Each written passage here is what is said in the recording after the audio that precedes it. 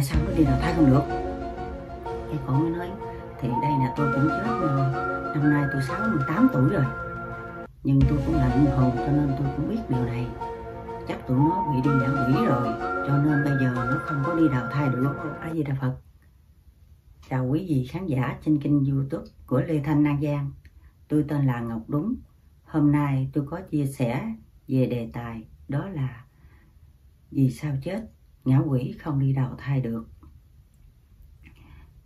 Thì à, trên con đường tôi đi làm việc mà tôi có gặp hai linh hồn.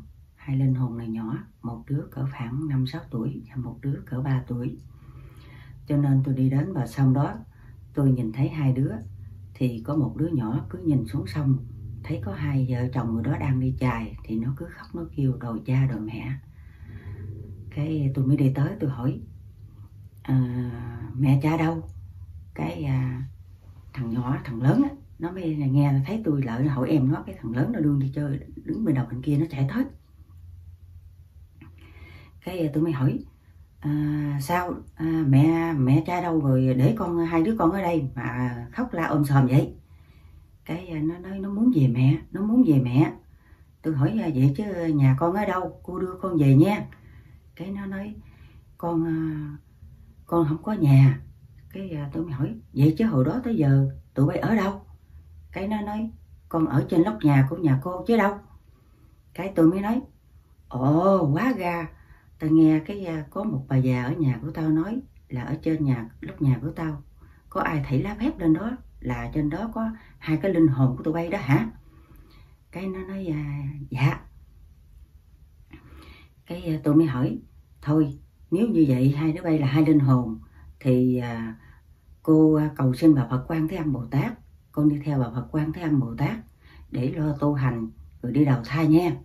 Cái nó nói cái thằng lớn nó trả lời nó nói à, không được.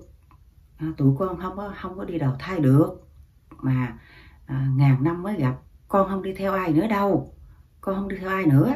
Cái thằng nhỏ nó đang khóc nó nói nó bật lên miệng nó nói à, con đợi cô chết con đi theo thôi chứ con không đi theo ai nữa.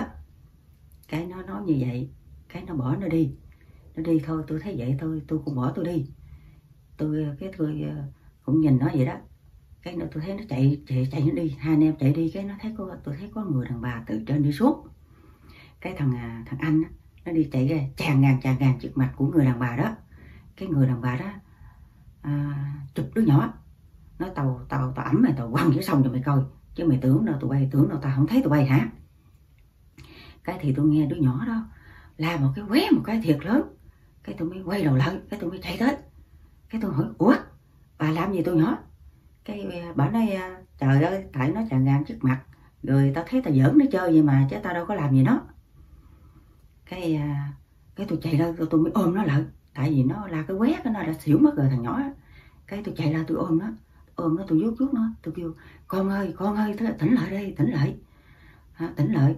Cô hứa với con à, sau này cô chết cô sẽ mang con đi theo.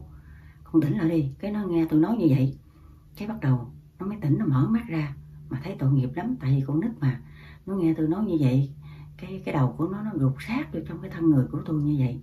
Nó làm như nó gặp được mẹ vậy đó. Cái à, tôi mới nói à, tôi hỏi à, cái người đàn bà đó đó tôi mới nói à, ủa hai à, hai linh hồn này à, à, hồi nãy á con quên hỏi nó tên gì cho nên con không có biết. Kêu nó làm sao đây nè. Cái bỗng nhiên bà đấy à, à, một đứa à, thì à, tên là Khải một đứa thì tên là Khai.